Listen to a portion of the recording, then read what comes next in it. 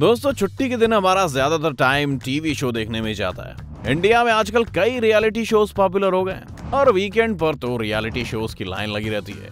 लेकिन क्या आप जानते हैं कि शोज़ असल में बहुत ही फेक और स्क्रिप्टेड होते हैं और अपनी टीआरपी बढ़ाने के लिए लोगों के इमोशंस से खूब खिलवाड़ करते हैं। ऐसे शोज़ आपके इमोशंस का इस्तेमाल करके आपको अपना फ़ैन बनाते हैं और फिर आपके इमोशन से ही पैसे कमाते हैं। और आप अपने अपने सुपरस्टार को लेकर लड़ते रह जाते हैं। आज हम आपको कुछ ऐसी रियलिटी टीवी शोज़ की असलियत बताएँगे। तो सीट बेल्ट बाँध लीजिए और बने रहिए वीडियो के अंत तक। और अगर आप हमारे चैनल पर नए हैं तो पहले सब्सक्राइब बटन पर क्लिक करके बेल आइकन दबा दीजिए। चलिए शुरू करते हैं। नंबर वन इंडियन आइडल अगर आप इंडिया में हैं तो इस शोज़ को आपने ज़रूर देखा होगा। ये शो इतना रुलाऊ है कि इसके ऊपर जोक्स पर जोक्स बनाए जाते हैं। इसका नाम है इंडियन आइडल और इस शो ने रोने और रुलाने में पॉपुलर टीवी कैरेक्टर सिमर को भी पीछे छोड़ दिया है। इस शो में लोग इतना रोते हैं, इतना रोते हैं कि जैसे गाने का नहीं, रोने का कंपटीशन चल रहा हो। सबसे बड़ी बात यह है कि यहाँ जो अपना टैलेंट दिखाने आता है, उसकी कहानी इतनी दर्द भरी दिखाई जाती है कि कोई भी बिना रोए नहीं रह पाता। लेकिन अगर अब आपसे यही पूछेंगे कि जिस शो के ऑडिशन में पैसे देकर पास किया जाता हो, वहाँ कोई गरीब कैसे एंट्री लेता होगा? और एक बार को अगर इसे सच मान भी लें तो क्या ये अपनी लाइफ पर बर्तन धोते हुए, कचरा उठाते हुए और वीडियो भी खुद ही बनाकर डाल देते हैं? असल में एक बेहतरीन ट्रिक है, जिसमें एक इमोशनल कहानी से आपको जोड़ा जाता है, ताकि आप पूरे सीज़न बिना कोई एपिसोड मिस किए शो को देखें और शो की टीआरपी बढ़ सके। इसके लिए जजेस भी घड़ियाली आँसू बहाते हैं। इस शो में स्टेज पर परफॉर्म करने वाले कंटेस्टेंट अक्सर ये दावा करते हैं कि ऑडिशन पूरी तरह फेक होते हैं, जिसके दो ही मकसद होते हैं। एक तो अजीब और गरीब हरकतें करवा के जजेस का एंटरटेनमेंट करना और दूसरा लोगों से व्यूज़ लेना। ज़्यादातर केसेस में विनर पहले से ही डिसाइड होता है, जैसे कि जो भी कंटेस्टेंट ज़्यादा टीआरपी दिलवाता है, उसको विनर बना दिया जाता है। नंबर टू बिग बॉस अपने दिमाग और अपने घर को जंग का मैदान कैसे बनाना है, उसकी ट्रेनिंग देने के लिए भी एक प्रॉपर टीवी शो आता है। इसका नाम है बिग बॉस इस शो को बनाया गया है गाली गलौज और मारपीट की थीम पर। मतलब ये है कि शो में सन्नाटा भी आने वाली तूफ़ान की आहट होता है, और इसके स्क्रिप्टेड ना होने पर तो कोई सवाल ही नहीं है। क्योंकि आप खुद ही बताइए टीवी पर सबके सामने लड़ झगड़ कर लोग भला अपनी इज़्ज़त का फालूदा क्यों करवाएँगे? और इसी वजह से बिग बॉस टीवी का मोस्ट कंट्रोवर्शियल शो है।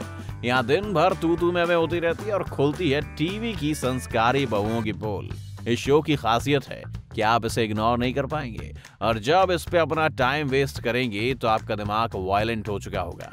वैसे भी शो को हमारे सल्लो भाई होस्ट करते हैं। इस शो में टीआरपी के लिए कुछ भी परोसा जाता है। भला हो कि इसमें बीप का ऑप्शन यूज़ हो जाता है, नहीं तो इसमें इतनी भद्दी गालियाँ यूज़ होती है ना कि इसे परिवार के साथ तो आप देख ही नहीं सकते। और दिक्कत ये है कि शो की भी अपनी एक ऑडियंस है जो इसकी खूब लॉयल फ़ैन है। ये ऑडियंस इतनी लॉयल है कि आपको भी बिग बॉस का फ़ैन बना सकती है। एक और बात दोस्तों, अगर आपको लगता है कि यहाँ की एक एक वीडियो आप तक आती है तो आप गलत समझ रहे हैं, क्योंकि घर के अंदर की सारी वीडियो दर्शकों तक नहीं आती है, बल्कि सिर्फ़ वही पार्ट दिखाए जाते हैं जो हमारे बिग बॉस चाहते हैं। यानी वही चीज़ें आपको परोसी जाती हैं, जिससे आप टीआरपी वाले ट्रैप में फंस जाओगे। और ये दावे शो के कुछ ही कंटेस्टेंट ने टाइम टाइम पर किए हैं। तो पूरी कहानी का कंक्लूजन ये है कि जैसे आप रियलिटी शो समझते आ रहे हैं, वो पूरा का पूरा स्क्रिप्टेड होता है, जहाँ बिना बात कंटेस्टेंट को आपस में लड़वाया जाता है, मारपिटाई कराई जाती है, ताकि शो की टीआरपी बढ़ाई जा सके। नंबर थ्री स्वयंवर। इस सीरियल को जब लाया गया तो खूब बवाल मचा। इसकी थीम ही ऐसी थी कि आपको लगा कि पक्का सब कुछ रियल होगा। लेकिन जो दिखता है, वो सही नहीं होता। इसका नाम था राखी का स्वयंवर। याद आया? एक ऐसा शो जिसने इंडिया के सबसे इम्पोर्टेंट हिस्से का ही मज़ाक बना डाला। यानी ये शो के मेकर्स ने शादी जैसे इंपॉर्टेंट टॉपिक को पैसे के लिए तार तार कर दिया। क्योंकि शो में नकली शादी और नकली स्वयंवर को ही रच डाला गया। इस शो में राखी मैडम के लिए इतने रिश्ते आए पूछो ही मत। और तारीफ़ इतनी कि कोई भी सुनकर अपना सिर पीट ले। और इसमें जितने भी दूल्हे आए थे, वो सब बॉलीवुड लाइन के छोटे मोटे स्ट्रगलर्स निकले। लेकिन शो में खुद को कोई डॉक्टर बता रहा था तो कोई इंजीनियर चलो जैसे तैसे करके मैडम ने एक अजीब सा दूल्हा ढूंढ भी लिया। लेकिन उससे भी अंगूठी पहना के छोड़ दिया। मतलब इतनी लंबी स्क्रिप्ट लिख दी मेकर्स ने कि आज भी मैडम कुमारी है और जिसे चुना था, वो कहाँ गया, पता नहीं। Number four dance India dance दोस्तों, सोचो कि किसी शो में पार्टिसिपेट करने के लिए आप अपना फ्यूचर तक दांव पर लगा दो। और फिर कुछ पैसे और कुछ लोगों की वजह से तुम्हारा सपना अधूरा ही रह जाए। तो आपको कैसा लगेगा? अपने इंडिया में तो नेपोटिज्म वैसे भी बहुत चलता है, जिसकी वजह से लाखों टैलेंटेड बच्चे पीछे रह जाते हैं। जी हाँ दोस्तों, हम बात कर रहे हैं डांस इंडिया डांस यानी DID की।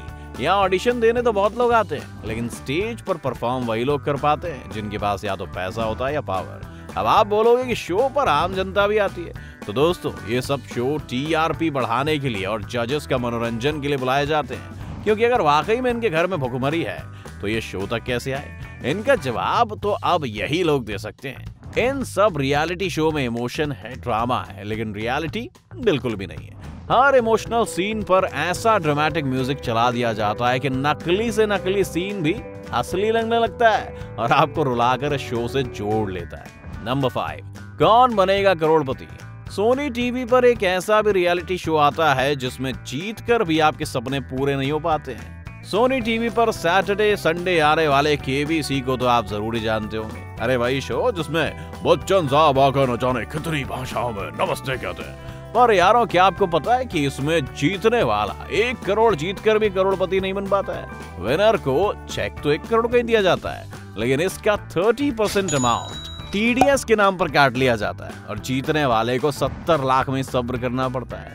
वैसे केबीसी में आपको फास्टेस्ट फिंगर फ़र्स्ट बहुत पसंद होगा, पर क्या आपको पता है कि इस राउंड के बाद बच्चन साहब ब्रेक क्यों लेते हैं? अरे भाई, ताकि हॉट सीट पर बैठने से पहले कंटेस्टेंट को एक्टर या एक्ट्रेस की तरह सजाया जा सके। कई लोगों ने पहले भी बताया है कि शो में गरीबी और लाचारी का ड्रामा क्रिएट किया जाता है ताकि ऑडियंस आराम से उससे जुड़ी रह सके और केबीसी के साथ साथ टीआरपी का गेम भी चलता रहे। Number six man versus wild अगले नंबर पर आता है मैन वर्सेस वाइल्ड जिसमें Bear Grylls veg non veg तो छोड़ो, मरे हुए जानवरों को भी नहीं छोड़ते। कीड़े मकोड़े तो ऐसे खाते हैं जैसे नूडल्स खा रहे हो। और तो और, मरे हुए ऊँट के कंकाल में भी सो लेते हैं। लेकिन ओनली ऑन कैमरा और कैमरे के पीछे की सच्चाई तो कुछ और ही है। ऑफ़ कैमरा तो भाई के साथ पंद्रह से बीस लोगों की टीम होती है। और बात की जाए अगर स्टंट्स की तो वो भी इतने ही फेक होते हैं जितनी की जानवरों के साथ उनकी दोस्ती। मतलब हद होती है अब आप ही सोचिए, भला क्या जंगल के सारे ही जानवर भाई के दोस्त हैं कि हर किसी को गले लगाए घूमते हैं? भाइयों, असल में सारे जानवर ट्रेंड होते हैं। कीड़े तो ये बस हमें उल्टी करवाने के लिए खाते हैं। है ना शॉकिंग हाँ मगर मोदी जी वाले एपिसोड के बारे में हम कोई टिप्पणी नहीं करना चाहेंगे नंबर सेवन स्प्लिट्स विला दोस्तों फेक शोज़ की लिस्ट में स्प्लिट्स विला भी पीछे नहीं है, जिसमें सनी लियोन अपने हुस्न के जलवे दिखाने आती है। टाइम टाइम पर इसके कंटेस्टेंट बताते हैं कि शो कंप्लीटली स्क्रिप्टेड है।